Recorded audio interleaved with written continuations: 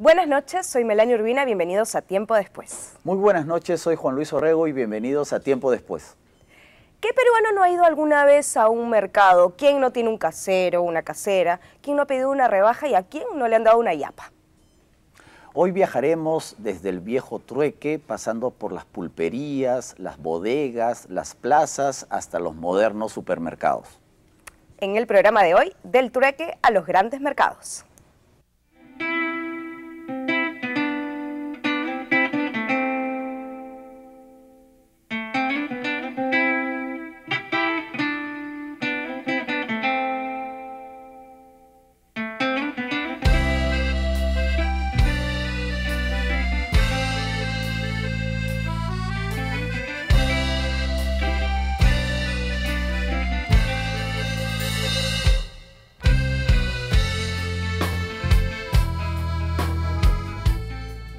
El día de hoy tenemos a dos grandes invitados. Me toca presentar a Ricardo Guiseque, él es físico y asesor de la Municipalidad de Lima. Bienvenido.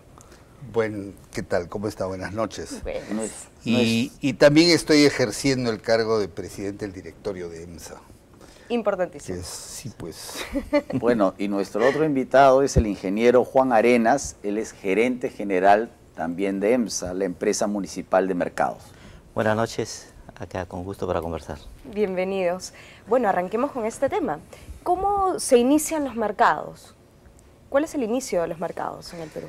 Bueno, eh, los mercados yo creo que es un fenómeno de carácter urbano, ¿no? Este, porque, por ejemplo, en el caso de Huancayo lo que había era eh, un puerto donde llegaban las mercaderías de las partes altas y llegaban las mercaderías de las partes bajas y hacían el trueque.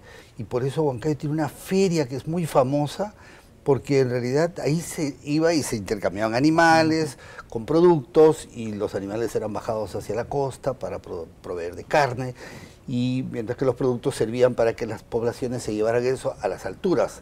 ¿A dónde? A las ciudades desarrolladas de aquel entonces, que eran cuáles? Huancavelica y Ayacucho. Entonces, este, en el Perú por lo menos es un fenómeno que a partir de la urbanización, donde la gente ya no se puede proveer del campo, tiene que comprar y alguien del campo tiene que traer a vender en la ciudad, los citadinos se dedican a otros temas, se dedican a trabajar, a las oficinas, a los... Ya no siembran ni cosechan. Entonces, este es el proceso que va generando una demanda. Y la gente del campo empieza a ver que hay una oportunidad para vivir de lo que producen, produciéndolo de una manera más eh, especializada, llevándolo a los mercados. En este proceso encontramos que además tenemos que la gente que está produciendo se dedica a producir y empieza a generarse una división del trabajo. Alguien debe dedicarse a la comercialización. Entonces, a veces eran familiares que se separaban de ellos mismos, unos producían, cosechaban, otros transportaban y llevaban a la Se, ciudad. se inicia toda una cadena Se de inicia trabajo. una cadena que no era así. En los pequeños pueblos la gente solamente llegaba con sus productos e intercambiaban. Algo de habas por algo de papas, algo de papas por algo de carne, algo de carne por alguna ropa y así sucesivamente. De manera que este es un proceso que se ha ido perfeccionando eh, a nivel mundial, obviamente, ¿no es cierto? Y por supuesto, rápidamente en otras realidades se han dicho, eh, hacemos más barato si es que todas las papas son iguales y todos los camotes iguales y todas las habas son iguales, porque así puedo homogenizar y hacerlo sistemático y poder bajar mis costos. No necesariamente los precios, pero los precios también, porque así se beneficia a la gente con un menor precio. Esto tiene su costo, ¿no? Y su costo es que se pierde en biodiversidad. Porque el productor de una cadena de supermercados quiere todas las papas de un tamaño determinado. la homogenización. El Claro. productor o el consumidor también pide homogeneidad. Por ejemplo, el que va a ofrecer papas fritas. Unos quieren papas fritas largotas. Entonces le pide al productor, por favor, quiero unas papas grandotas. Entonces el productor se busca una especie genética que le dé papas grandotas. Incluso a veces vienen ya cortadas, ya listas. o sea, Él se encarga de proveérselas hasta cortado y embolsado listo para, para Ahora, a mí me toca retroceder en el tiempo, ¿no? Eh, hasta el siglo XVI en nuestro territorio no había moneda, por lo tanto no teníamos una economía de mercado y en el antiguo Perú nosotros sabemos pues que el intercambio de productos, el famoso trueque, era el que funcionaba, pero el trueque no es, una, no es un fenómeno exclusivamente andino, sino en muchas economías sin mercado o incluso ya con moneda, el trueque sigue funcionando porque el sistema monetario no alcanza a todos los niveles de la, de la sociedad. Ingeniero Arenas, eh, ¿cómo el trueque todavía funciona en nuestro país? ¿Hay, ¿Hay lugares del Perú en donde todavía se recurre a esta vieja o ancestral usanza para intercambiar productos? Sí, yo creo que este, esta costumbre todavía continúa, ¿no? Inclusive hay algunas costumbres, como Ricardo señalaba, este, eh, que eh, lo cual se mantiene todavía. Por ejemplo, en el tema de, los, este, de las carnes, ¿no? ¿Ya? Eh, los toros, estos que hoy consumimos en el mercado local, pues son adquiridas este, en estas zonas andinas y luego son transportadas hasta Lima y allí son engordadas y luego recién va a hacer todo este proceso que este, todos conocemos para comercializar la carne. Entonces, el trueque sí, se, sigue manteniendo en muchas zonas, en, este, donde todavía, no ha llegado un poco con mucha intensidad el uso de la, de la moneda. Claro. Entonces, allí se mantienen todas estas costumbres todavía, eh, se mantienen este, desde las comunidades campesinas, este, inclusive eh, se cambian productos de aceites, arroz con productos eh, que son este, producidas en, el campo. ¿no? ahora, el hombre andino también eh, diseñó algunas estrategias para comercializar, entre comillas, porque todavía no hay moneda, trasladar alimentos sin que se malogren, como por ejemplo la carne deshidratada de, de auquénido, lo que conocemos como el charqui, la papa deshidratada, que no solamente permitían que se conserven más, sino que el transporte era más, más fácil, entre comillas, porque eh, cuando la carne o la papa la deshidratas, eh, su peso disminuye hasta en un 30% aproximadamente, ¿no? Y el, volumen. Claro, acordémonos que, por ejemplo, las papas en las zonas andinas, pues eh, es de una temporada de producciones muy cortas, ¿no? Entonces, ellos tienen que almacenar estos productos durante todo un año para la siguiente cosecha, que es el próximo año. Y por eso estas costumbres del chuño, que todos el conocemos, ¿cierto? El charqui también es otra de, mm. las, de las costumbres que todavía se mantienen en muchos lugares, porque pues en las, en las zonas de Alto Andina pues no hay eh, sistemas de almacenaje de estos, pero también ellos han este, avanzado mucho con los, eh, los que llamaban tambos, ¿no? donde almacenaban por un buen tiempo mm. todos sus productos y la mayoría de ellos. Y una pregunta, ¿el, el trueque generaba lo que ahora conocemos como un negocio o simplemente el trueque se limita a lo que uno necesita, a lo que su familia necesita, uno solamente intercambia lo que, lo que necesita consumir, digamos? ¿O también genera algún tipo de negocio?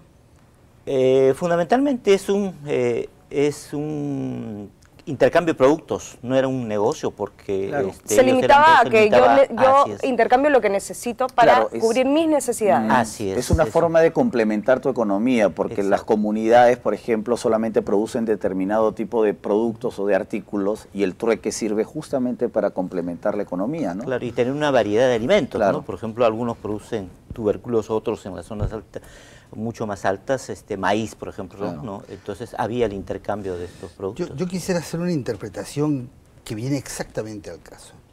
Y hemos hablado del pequeño productor, campesino, de las zonas más apartadas, pero hay un, hay un aspecto que me gustaría tocar. Estas personas viven de lo que siembran y viven de lo que logran cosechar.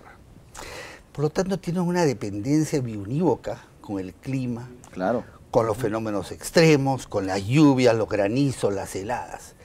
Entonces es fácil imaginarnos que si ellos siembran solo maíz, llegaba un momento en que una helada los podía dejar absolutamente inermes. Inteligentemente, ¿qué han hecho los pobladores ancestralmente? Han hecho el minifundio.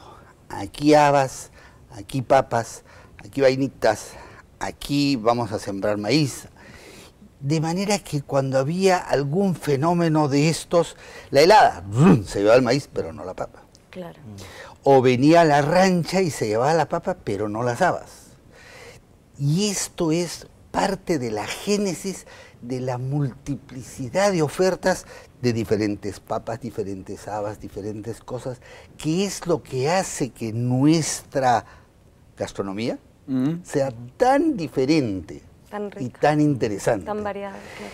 Y estas son las cosas que se reproducen en los mercados de hoy día, cuando usted va a un mercado, a un mercado de distrito, encuentra una variedad de cosas que no necesariamente la va a encontrar en un supermercado.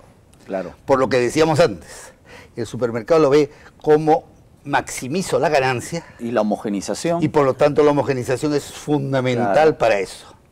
Mientras que en el mercado yo le ofrezco y establezco una relación de amistad, Por de supuesto. dependencia, de confiabilidad y hasta de sabor. Porque con esto voy a preparar yo mi chupe de tal cosa Claro. que la hago con la papita morada y con la papita no sé. que es parte de lo que tenemos entonces que conservar en el país, porque es cosas de las que no se producen mucho en el resto de los países. Sí, por- si uno quiere encontrar variedad, tiene que ir al mercado, no al es. supermercado. Así es. Ahora, eh, lo que usted decía me parece muy importante porque el hombre andino desde miles de años eh, estableció una estrategia de control de pisos ecológicos. ¿no? Nuestra geografía es impresionantemente bella, pero también es impresionantemente difícil. Difícil, sí. Entonces el mérito del hombre andino era justamente establecer el sistema de control de pisos ecológicos y por lo tanto en un piso no se puede producir todo. Entonces necesariamente tenían que recurrir Así al es. trueque para ir para intercambiar productos de otros pisos ecológicos para complementar su economía. Exactamente. Entonces, esto es un tema que hoy en día tiene una presencia muy importante en el país. Tenemos el tema del cambio climático que no ha sido generado por, por ninguno de, los, nuestros hombres andinos en su forma de vida, pero ha sido generado en otros sitios. Como es un fenómeno global, lo sufrimos todos. Entonces, los glaciares que eran regulador de agua empiezan a desaparecer y los climas empiezan a cambiar de manera que ya no se produce ni el calor, ni el frío, ni la lluvia en los plazos y en los tiempos que estaba previsto. Ellos tienen una forma de sobrevivir, porque así lo han diseñado durante milenios. Lo que pasa es que las velocidades de cambio toman dos, tres, cuatro generaciones y esto ha sido en las últimas dos generaciones y se acelera. Entonces hay una responsabilidad de los gobiernos de los estados de decir, tengo que ayudar a diseñar algunos esquemas de adaptación para que podamos llevar la fiesta en paz. Pero eso está directamente relacionado con el tema de seguridad alimentaria y con disponibilidad otra vez de mercados. Lo que quiero tratar de decir es, hay una problemática más holística que va alrededor en las explicaciones y en las razones de por qué se producen, a veces empieza a faltar el limón en épocas que no era y empieza a subirse el precio. O empiezan a faltar papas, y no necesariamente ni por huelgas ni por carreteras, sino simplemente porque ahora no se ha producido ni el invierno, ni el frío, ni las lluvias como debería ser en valles conocidos como paperos, Valle del Mantaro, Valle de Tarma o Valle de Ambo, ¿no es cierto? Entonces, esto nos obliga a todos a empezar a mirar de otra forma qué está pasando. Por eso el ordenamiento territorial, por eso las evaluaciones este, económicas eh, y ecológicas de qué se puede producir y cómo y cuándo. Y tenemos la gran ventaja de la comunicación. Es un programa que se ve a nivel nacional que creo que debería justamente decirle a todos los gobiernos regionales y municipales, hay que empezar a revisar estas otras cosas que no es que simplemente porque como ya se producía y teníamos la garantía de antes, eso va a seguir No, no, no. funcionando. Sí. Bueno, y con esa reflexión nos vamos a, a un primer corte, pero ya regresamos.